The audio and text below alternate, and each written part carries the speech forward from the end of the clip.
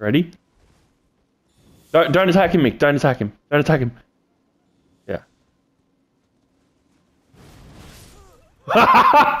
One shot. 2,918 damage. He thought he was gonna fucking kill me when he had one of these. I have fucking two.